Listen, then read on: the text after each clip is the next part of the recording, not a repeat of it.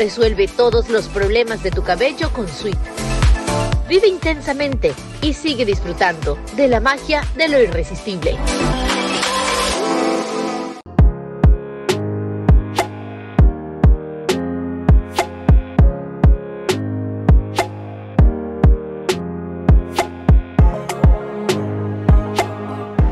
gracias a Dios las quemadas y, las secuelas nunca me afectaron. Esto es lo máximo. Yo creo que si volviéramos a encontrarnos una vida, volviéramos a fusionar. Bienvenidas y bienvenidos a un nuevo programa de Un día a la vez. Cada capítulo para mí es una aventura de reencontrarme con amigos queridos y sobre todo conocer qué está detrás de su historia a través de los sentidos. Mi invitada de hoy es una rubia despampanante. Es una mujer que tiene una voz muy potente pero dulce a la vez. Una amplia y contagiosa sonrisa que no representa ausencia de problemas, sino una capacidad increíble de transformar aquellas situaciones desafiantes en oportunidades de aprendizaje y crecimiento. Estoy hablando de la guapísima y talentosa Yasu Montero. Yasu nos va a acompañar hoy en nuestro programa y vamos con ella a descubrir cuál es su receta para alcanzar la armonía. Vengan.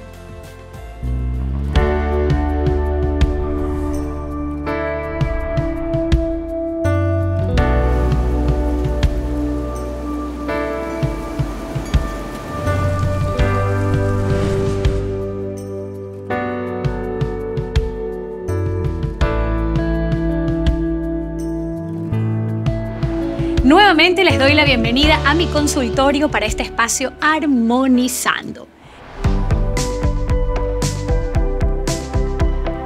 Creo que es importante que podamos conocer nuestra propia historia de vida para poder tener en tiempo presente una mejor relación con los demás y podamos solucionar de manera más efectiva nuestras dificultades y problemas. Hoy les propongo hablar acerca de nuestras heridas de infancia todos los seres humanos, pese a que podamos tener una vida feliz, arrastramos o cargamos heridas de situaciones que ocurrieron cuando éramos pequeños en familia. Herida número uno, herida de abandono. La herida de abandono no solamente se relaciona con aquellas personas que vivieron historias muy difíciles y fueron abandonadas por sus padres. También tiene que ver con cómo este niño desde su inmadurez emocional recibió ciertas experiencias de su familia. Por ejemplo, si tuvieron padres que trabajaban mucho, estos niños van a sentir o van a crecer con heridas de abandono. La herida de abandono, cuando uno es adulto, genera relaciones de dependencia con los demás. La siguiente herida es la herida de rechazo. La herida de rechazo tiene que ver con aquellos padres, por ejemplo, que fueron como muy duros muy estrictos o quizás que prefirieron atender otros temas antes de cuidar a este niño. Esta herida de rechazo puede ser interpretada por este niño o por esta persona adulta como no merecedora de afecto. La siguiente herida tiene que ver con herida de humillación. Cuando hemos tenido padres muy estrictos, muy severos, padres muy descalificadores, Creo que eso es bastante común en muchas familias, no con la intención de herir al hijo, pero sí desde una postura de poner reglas claras. A veces esto puede ser interpretado como humillación. Las personas que crecen con heridas de humillación pueden tener lastimada su autoestima y tener una poca confianza en sí mismo. La siguiente herida tiene que ver con herida de traición. Esta herida, por ejemplo, es muy común en hijos de padres separados, donde el padre que no vive con él le promete cosas que probablemente en la práctica no cumple.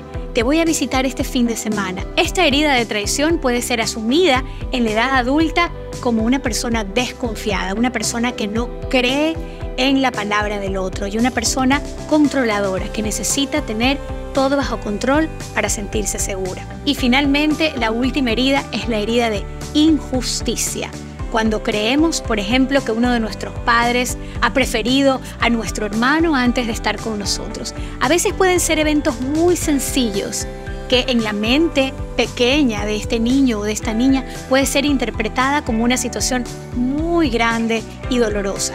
Es importante que nosotros podamos identificar cuál es nuestra herida de infancia, qué situaciones o eventos ocurrieron que nos marcaron y son los que ahora provocan la forma como nos relacionamos con los demás y cómo solucionamos los problemas. Probablemente no fueron cosas tan graves ni traumáticas, pero este niño o esta niña desde su mente inmadura lo sintió y lo relacionó de esta manera. Aprendamos a soltar, aprendamos a sanar y aprendamos a agradecer a nuestros padres por aquello que hicieron, que sin duda lo hicieron desde el amor, pero nosotros lo hemos interpretado de otra manera.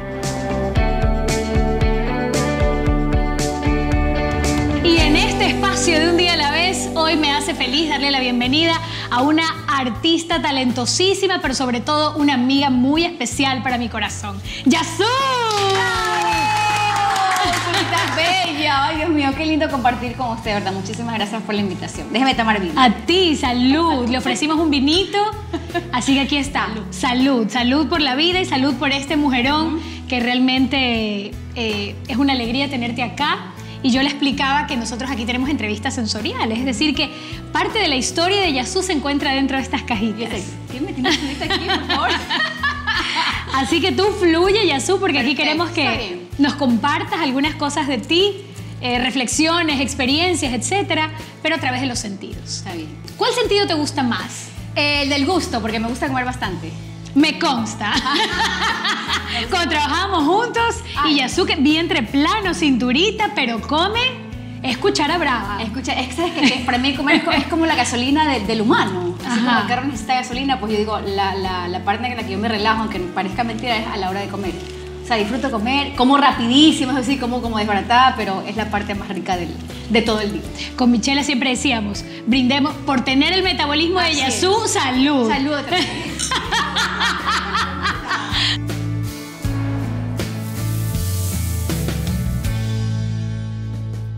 Quiero, quiero que tomes entre ver, tus manos como. esta cajita, Perfecto, Ahí estoy. Que la abras, que degustes y que me digas con qué conectas con ese sabor. Sé que a ti te gustan mucho la- los sabores criollos, Ajá. los sabores nuestros.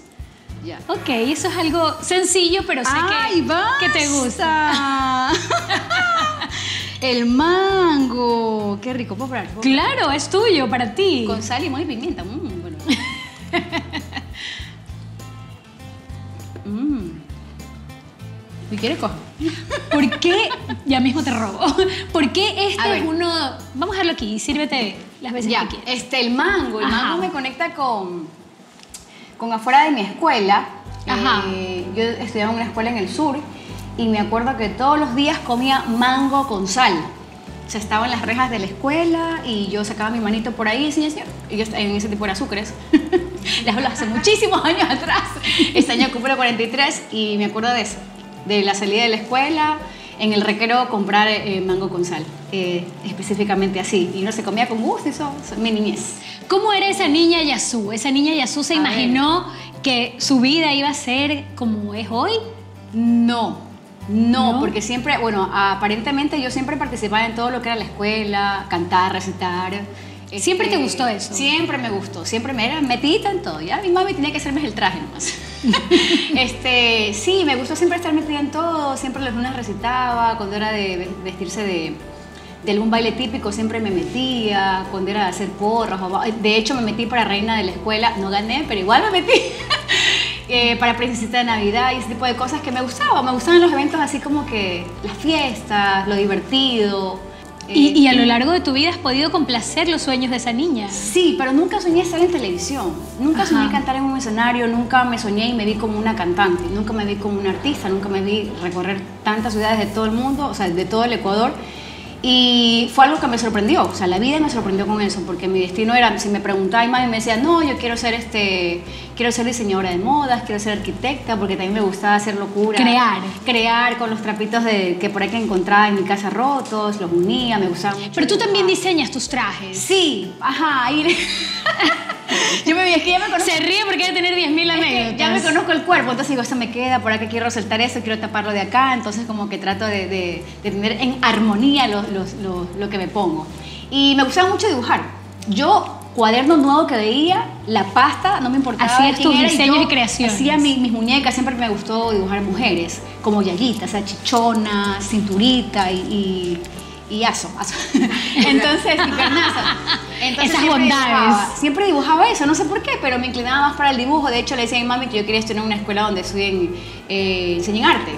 Y ahí fue que pasé a Bellas Artes desde el cuarto año. Pero nunca imaginé cantar en un escenario. Eso fue lo que la- el- algo que la vida me, me- me dio, me regaló y, y lo disfruto mucho. Como el mango. Como el mango, relajado. ¿Con qué continuamos? Continuamos con el tacto, con la vista. Mm. Con el tacto. Vamos a ver cómo me va con el tacto. Ok. Sí. Ok, vamos a sentir. Destápalos, activa el tacto y siente. Ay, uy, que quiero abrir los ojos, soy bien zapada. Ay, yo amo esto. Amo la bisutería. Ay, se me quiere abrir los ojos. Ábrelo, ábrelo, ábrelo. amo, yo amo. ¿Qué es? ¡Ay, my God! my ¿De dónde lo sacaron? My God, pero esto, esto es mío, ¿verdad? No, ¡Miren! Tenemos ¿Cuántos cómplices. Has, recorrido con todo eso aquí. tenemos ¿Cuántos? cómplices que nos ayudan a conseguir cuenta, elementos e información. Y mira, mira, este de aquí está como dañadito, pero para que no se note me lo pongo en la esquinita acá. Pero yo amo el brillerío, amo las bisuterías. Yo no soy de comprarme ropa mucho. Pero por ejemplo, Pero accesorios Pero yo viajo, me compro accesorios, yo amo las botas, yo, o sea, veo una bota con brillo y ya, ya tengo que comprar, no importa cuánto cueste. Son cosas que, que, no sé, me gustan mucho desde, desde, desde pequeñita, siempre me ha gustado. Pero esto de aquí le ha dado palo, como no tenía idea. Este, Ha recorrido escenarios, tú Sí, no sé cuántos años tiene, pero tiene bastantes años, te cuento mi Ursulita. Y este, este de aquí ha recorrido full escenarios. O sea, es, es como que si yo no me pongo brillos, es como que no tengo nada encima, sea. Te yo sientes me, desnuda Me siento, me siento desnuda, o sea, me hago un traje lindo y todo, pero digo, no, salió Andrea, es que a mí me falta como un cinturón de brillos, como que las botas de brillos, como que cuando no tengo brillo no siento que soy yo. Seguimos viajando. Seguimos viajando. Tenemos dos cajitas Vamos a más. A ver. Tenemos la cajita del oído y la cajita de la vista. Vamos a dejar la vista para el último. el Perfecto, el oído. Vamos a activar el oído. Muy bien, el oído.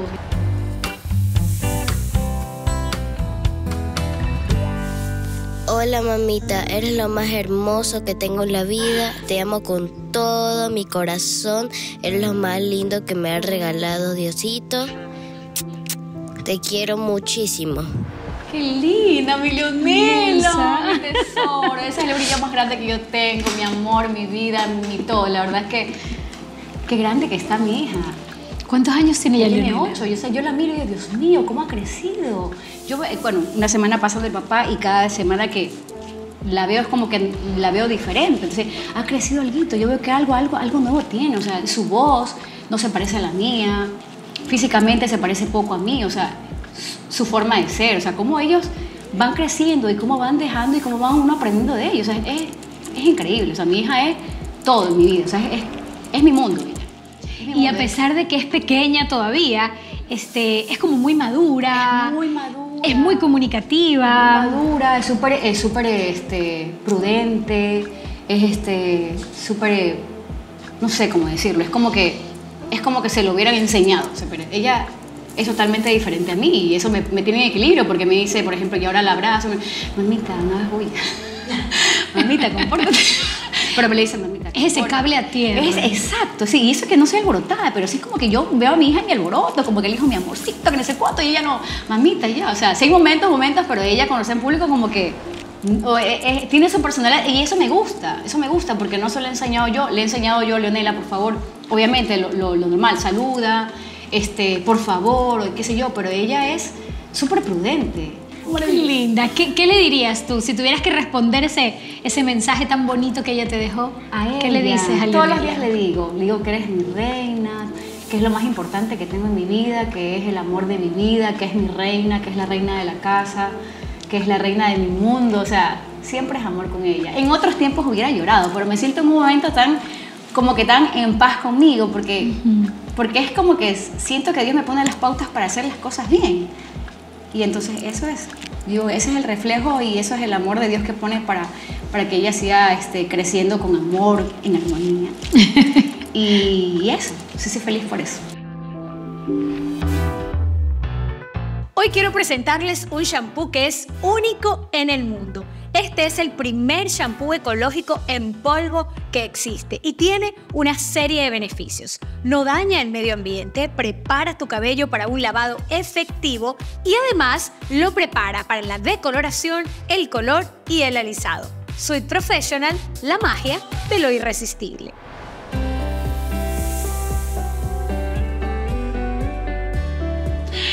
¡Wow! Aquí soy igualita a Leonela, por favor. Es una copia idéntica. Es muy parecida esa imagen a la, Igualita. a la carita. Así, igualita. A ver, esta, yo me acuerdo de esta foto, si no me acuerdo, mi papá está parado por ahí y es el señor que está por aquí. Él me acompañó en esa presentación que era de la escuela, que estaba bailando de, de paisanita, estaba bailando. Eh, hay, hay una, hay una oración, no oración, es una frase de esto. Este, quiero acordarme de lo que yo estaba recitando en ese momento, que era como un poema. Eh, tus palabras son máximas mentirosas, todo el mundo es así y así son todas las cosas. Es lo que recuerdo de esto. ¡Wow! ¡Qué pare- memoria! Éramos, pare- éramos parejitas, éramos parejitas y me tocó con un, un compañerito de la escuela que era más grande que yo y él me decía algo y yo le contestaba. Ajá, tus palabras son máximas mentirosas, todo el mundo es así y así son todas las cosas. Era como en esos, esos amorfinos, pero Ajá. en contra Y de... tú le contestabas. Ajá, así, yo me acuerdo tanto de eso de aquí. Eh, Ahora no solo quiero el metabolismo de Yasu, quiero la memoria de Yasu. mi época dorada, mire, Fuiste guau, poco a poco yendo hacia más rubio, más rubio, más rubio. Ajá. Te cuento que, a ver, aquí en, este, en esta foto eh, fue una época en la que yo grababa. Antes no había tantas redes sociales, pero como, como comerciales, como cosas así. Ajá. Aquí estaba mi tenía más cachetes, por si acaso no me he hecho la bichectomía y todo el mundo me pregunta, yo no sé dónde se fueron los cachetes, pero no me he hecho. Pero aquí tengo unos cachetes y unos pómulos más pronunciados, si ves la fotito, ¿no? Aquí tenía Claro, claro. Veinte y pico de años. Veinte y pico de años. Ahí no usaba extensiones, ese era mi pelito. Siempre me gustaba como que enseñar la, la, la barriga, la pechuga, el pecho, pecho rebosa. Tu pecho rebosa. ¿Sabes qué? Algo que nunca me gustó de Súper sexy, Yasu. Algo que nunca me gustó de mí, cuando yo no, no, bueno, cuando tenía 17 y yo estaba como que en pleno desarrollo y, y yo sentía como que mis chichas habían crecido mucho y yo decía, ¿por qué? No me gustaba, yo usaba una talla de sostén más pequeño, como que era media jorobadita y cuando yo entré al grupo, esa, a mí me enseñaron desde a pararme, desde a, desde a caminar. ¿Cuántos años tenías cuando entraste al grupo? 18. Chiquita. 18, Y estuve un año ensayando y, y, y aprendí tantas cosas, porque digo, yo que me hubiera imaginado que me iba a maquillar o iba, iba a hacerme tantas cosas, ¿no? Porque no, no conocía ni la secadora, ni la plancha, ni nada, ese poco de cosas para ponerse en la cabeza, ni los tacos, ni el maquillaje, o sea, yo no me maquillaba para nada. Y veo esta foto y digo, eh, eh, nunca, nunca imaginé, o sea, yo digo, nunca imaginé ser cantante, o sea, nunca imaginé conocer tanta gente. Y eso fue los inicios de esta No, vida. Claro, sí, casi los inicios, como que en el proceso. Ay, aquí, aquí está embarazada Ursulita, por favor. ¿Qué? Aquí yo tenía ¿Y dónde estaba Leonela? ¿Me puedes A ver, explicar? aquí yo tenía cuatro meses de embarazo en esta foto. Estas fotos fueron como al apuro antes que se me notara la barriga, porque ya tenía- eran cuatro meses y obviamente Ajá. las mamás primeras en mi caso no se me notaba mucho. Pero ya Leonela estaba ahí adentro, o sea, cuatro meses y fueron las fotos más sexys que he hecho en mi vida. Fue, esta foto fue el inicio para mí, el inicio de ¿Qué te dejó la experiencia del grupo? mucho aprendizaje. Ajá. Este, aprendí a conocer gente, aprendí esto sí, esto no, porque uno conoce de, de todo. Uno conoce en el mundo artístico de todo, pero uno aprende a discernir lo bueno cuando sabes qué es lo bueno y lo que, y lo que es bueno para ti. Yo conocí un montón de gente que me enseñó muchísimo, gente buenísima, gente que realmente apostó por mí, o sea, y sacó lo mejor de mí. Y tú, y tú eres una Sacó- mujer muy sacó- grata. Sacó lo mejor de mí porque es que. Uy, esa mirada. sacó lo mejor de mí porque, o sea. Yo creo que si lo hubiera pensado, no lo hubiera logrado. Pero yo también aprendí que todo es trabajo, todo es disciplina. Porque yo. Tú la eres así, La Yasu. gente puede ser muy talentosa. Tú eres muy, Muy lo que estás inculcando en, en Sí. Muy trabajadora. Exacto. O sea, Yasu es de las personas que si le dicen mañana tienes que estar en Yo- este sí. lugar a las 4 de la mañana, Estoy. ya maquillada, Y con unas extensiones divinas, ella está a las 4 de la mañana. Hago madrugar a Fernando Vélez a la una de la mañana. No, yo veo, yo veo que a- la mujer puede ser guapa, la mujer puede ser talentosa, hombre o mujer, pero si no tiene disciplina no, no, no llega a ningún lado. ¡Ay, ya! Del grupo. ¡Oh! ¡Oh, my God! A ver, Esta foto es, es lo máximo, esta foto.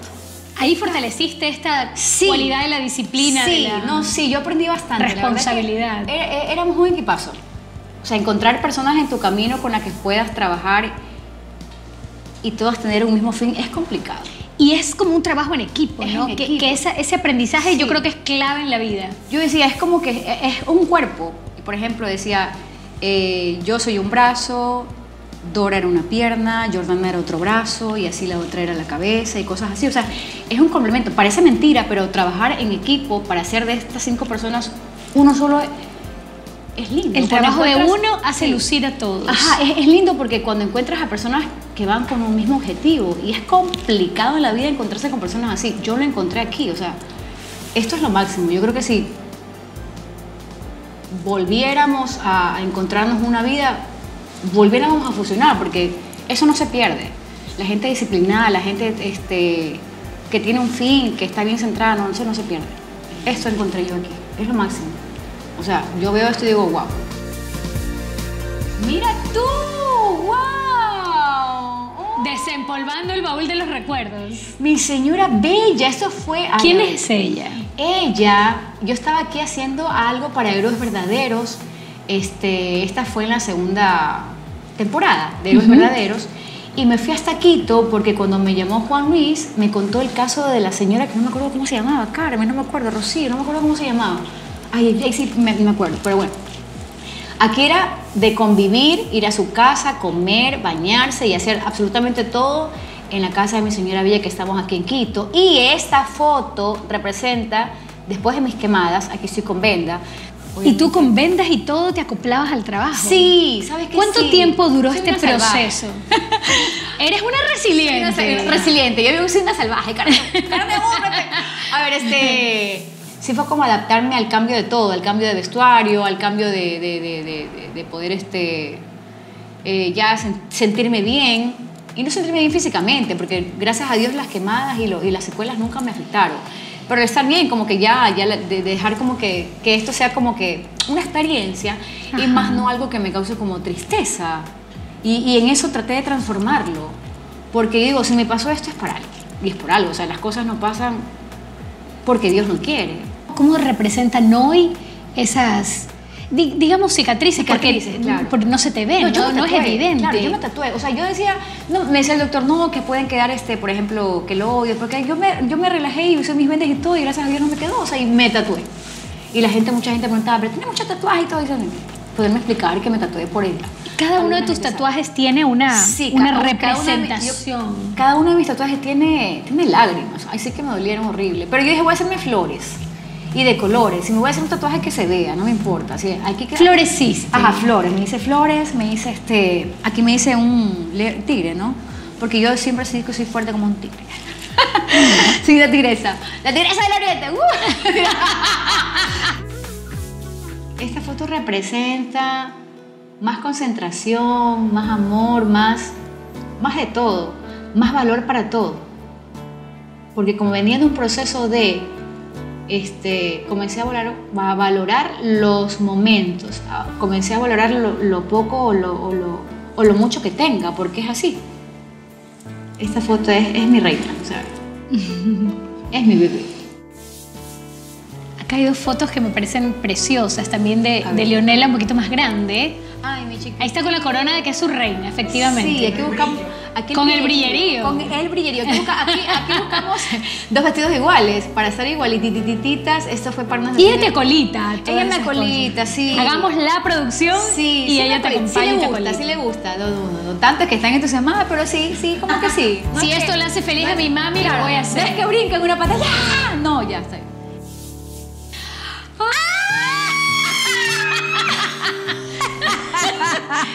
La hija número dos. ¡Caramelo! Yo no quería tener caramelo, no quería. Los hijos lo que hacen, ¿no? Ay, yo O sea, tú no querías a caramelo en Yo tu no vida. quería ni caramelo, ni, ni, ni Pepito, ni Juanito, yo no quería nada. Pero es, a ver, caramelo llegó a nuestra vida porque es que Leonela no es la intensidad, es como te lo pide.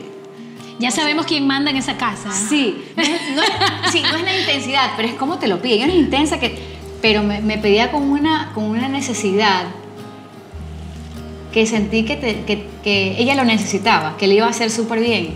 Yo no quería oye, limpiar popó, pipí de perro. Ay, no, Dios mío, sí, porque esa era una esclavitud. Yo en eso pensaba. Pero, pero un día fuimos a ensayar donde, Jac- donde Jac- Jacobo Laya en el sur. Y le digo, Leonela quiere un perro. Y yo buscaba un perro una raza más pequeña, porque mi casa es pequeña. Busquemos un chihuahua. Chihuahua me dijeron. Ahorita lo voy a reclamar. Chihuahua me dijeron.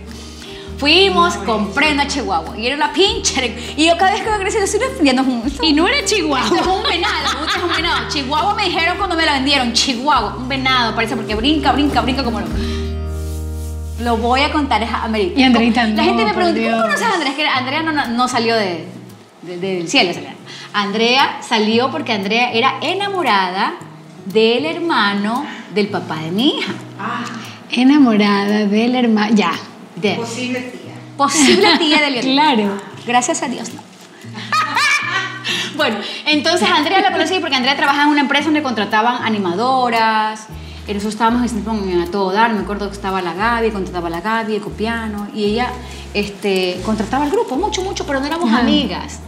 Y la Andrea, ya cuando hicimos el grupo, ya pasó a trabajar con, junto a Danilo. Entonces los dos llevaban la, la parte de los contratos, del dinero, manejaban, manejaban toda esa parte monetaria, esa parte de negocio empresarial. Entonces ya, y ahí ya fuimos un poquito más. Y justo yo estaba embarazada, entonces en realidad yo vivía sola en mi casa. Yo cuando me, me cambié en el, en el 2014 a mi casa, yo tenía nada.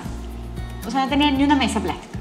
Yo me cambié ahí y llevé solo mi ropa y me daba como miedito. Y Andrea, como vivía aquí en Guayaquil, Andrea vivía en ese tiempo con Dora. Con Dora. Entonces, yo era la que pasaba más sola. Entonces, y Andrea se quedaba y ahí se quedó, y se quedó viendo en mi casa, desde ahí. ¿Verdad? Y ahí nos acompaña, me vio el proceso del, del embarazo.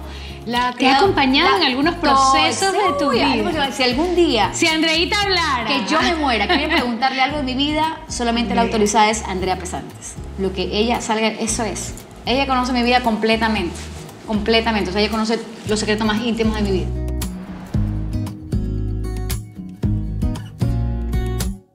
Aquí hay tres sobrecitos de tres colores diferentes. ¿Qué color, ¿Con qué color quisieras comenzar? El rojo. El rojo. Hombre ideal. Ajá. Quiere verme enamorada. Eso queremos que nos diga Yasu. Porque Yasu tú la ves una mujer divina por dentro y por fuera. Y tú dices, de ley de tener siete trillones de admiradores y hombres que la siguen, que la quieren conquistar. O que cada semana tengo una, una cita para almorzar, pero, a ver, un hombre ideal. Bueno, les, cuento que la, la- la mayoría de las personas que me conocen, como soy, sí me quieren ver con, ya como una pareja.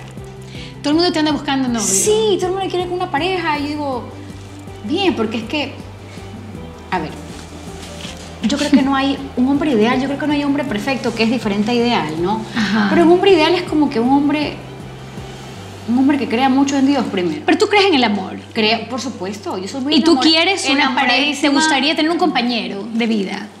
No es que lo anhelo. No es que si me pregunto digo, ay, sí me gustaría, o sea, es como que me da igual. ¿Cómo sería esa persona? Un hombre que sea respetuoso, trabajador, independiente. Un hombre que valore mucho, mucho la familia. Un hombre que, que sepa tratar a una mujer. Un hombre que, que valga la pena entregarle tanto. O sea, yo creo que Dios sabe lo, las personas que nos, merece- que nos merecemos, el hombre que nos merecemos cada mujer. Y que tenga energía para acompañar a Que Yasu, tenga que tiene una energía inagotable. Leonela. Leonela, sí, es la persona más importante de mi vida, es mi inspiración. Es una personita que llena de mucha ternura. Es la que suaviza mis momentos. Es la, mi cable a tierra. Es la que me pone a pensar en muchas cosas. La que me pone activa, la que es esa adrenalina, esa fuerza, como una leona todos los días. Ella encierra todo. ¿Por qué el nombre? ¿Por eso? Porque el papá se llama Leonardo. Entonces, este, él quiso, no, Leonardo, buscamos un nombre como que similar. Él no va a llamar Leonardo, ¿no? Entonces, como que Leonela fue el más similar a su nombre. Es un nombre con personalidad. Sí, un nombre fuerte. Porque yo le iba a poner Mía Amor. Nada que ver con la personalidad de Leonela. Casi la hago la grande. Pero sí le dejé el mía. El mía. Y es que yo decía, es que cuando le llamen, le digan mi amor. Y yo pensaba, Y es Leonela mía. Leonela mía. Así es. Leonela con el papá y mía porque era el otro nombre que le, pe- le pensaba poner yo. Qué bonito. Leonela mía. Como, Leonela mía. como una novela. Como una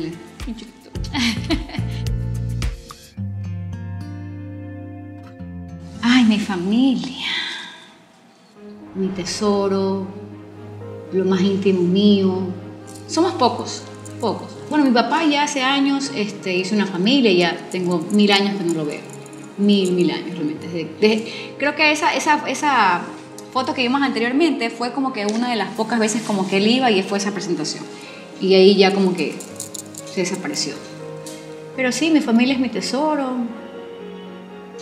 Los amo, trato de, en lo posible, de que no les falte en lo que puedo. Mi talón de Aquiles. Yasu, me gustaría que, un poco para ir cerrando esta linda entrevista, puedas compartirme cuál consideras tú que es tu receta para alcanzar la armonía.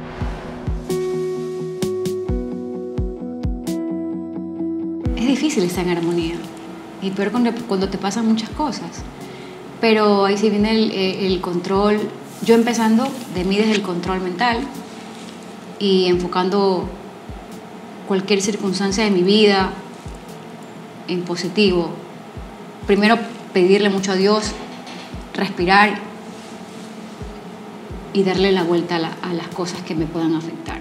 Yo creo que Dios me ha dado algo importante, que es mi forma de ser, y eso me ayudó hartísimo, hartísimo, hartísimo, hartísimo. Y eso es como que un- una fortaleza en mí, como que reír todo el tiempo y reír de verdad, porque a veces paso cojándome de risa o, trato de cambiar las cosas y ya, ya se me pasa, ya. Me acuerdo que tengo una vida y se me pasa eso. Y, es una risa honesta, porque Y continúo, y continúo porque sí, es verdad, ya. Dios, Porque yo decía, tener una sonrisa permanente no es No, tener exacto. ausencia de problemas. Así es. Es saber ponerle tu mejor cara a la vida. Y en el caso de Yasu, que, que, que la conozco el tiempo que compartimos eh, ese espacio de trabajo muy bonito, eh, realmente es genuina la alegría. O sea, ella realmente tiene ese don, esa virtud de, de transformar las cosas difíciles, desafiantes. No me gusta utilizar la palabra negativa, pero la- las situaciones desafiantes logras transformarlas eh, en, en lo mejor, en algo positivo. Así es. Y ponerle y le pones siempre esa, esa mejor le cara pongo, le a pongo todo. una buena cara, porque es que es verdad, o sea, hay que, hay que, si uno no se da eso, Marcelita, nadie se lo va a dar. O sea, el cambio viene de uno. Yasuke Bella, quiero agradecerte. Antes de cerrar, antes de cerrar, tenemos regalitos para ti. A ver. Además de los manguitos, además de las fotitos, tenemos este producto de nuestros auspiciantes, Sweet Professional, que siempre tiene detalles para nuestras invitadas. Yo uso este, este producto y realmente Son es buenísimos. maravilloso. Los conoces, a mí, no sabes, me ha devuelto el brillo, el volumen Son de mi buenos. pelo. Y aquí tienes tú para Gracias a que tu cabello buenísimos. luzca siempre hermoso, brillante, Gracias, Marcelita. para ti con mucho cariño. No te voy a prestar, Andrea. Y también... y también le cojo los shampoos. a ver, este detalle que es nuestra Ay. frase, nuestro lema del programa, que me encantaría que tú lo tengas en un rinconcito especial de tu casa. Qué lindo. Esta es una frase que tiene poder y la aprendí de mi Ursulita. un día a la vez. No creo solamente yo, todo el mundo cuando estamos en situaciones complicadas, un día a la vez, hay que salir adelante, hay que comerse el mundo, hay que dar la mejor cara, porque siempre van a haber días mejores cuando uno se propone a luchar, trabajar con disciplina, con amor y siempre pensando en Dios para que lo ayude. Gracias, Ursulita. Gracias a ti, gracias a ti, Yasu. Un aplauso para Yasu. A Yasu, la artista. ¡Salud! A la Yasu artista la aplaudimos todos los días, pero a la Yasu mujer, a la Yasu mamá, a la Yasu ser humano, queremos aplaudirla hoy con muchísima fuerza por todo lo que tú has compartido, por todo lo que has vivido, por ese don que tienes de transformarlo todo en, en flores. Por eso tus tatuajes, tu cuerpo lo dice, floreces todo el tiempo y permites que los demás también florezcan junto a ti. Ay, Marcelita, muchísimas Gracias. gracias. Gracias, gracias, Me voy feliz. Ha sido una terapia. Tal cual. Ese sillón es catártico. Terapia, es una terapia. Y si a usted también esta entrevista le gustó, ya sabe lo que tiene que hacer, activar la campanita, ponerle like, compartirlo, ponerle comentarios hermosos a nuestra invitada y estar atentos también a nuestro próximo o próxima invitada. Siempre compartiendo recetas para la armonía. Esto es Un día a la vez. Gracias, Yasu.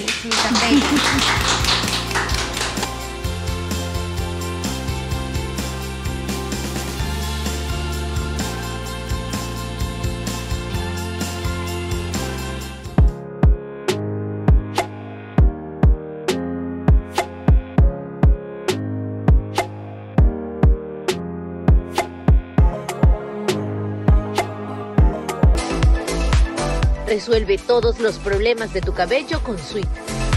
Vive intensamente y sigue disfrutando de la magia de lo irresistible.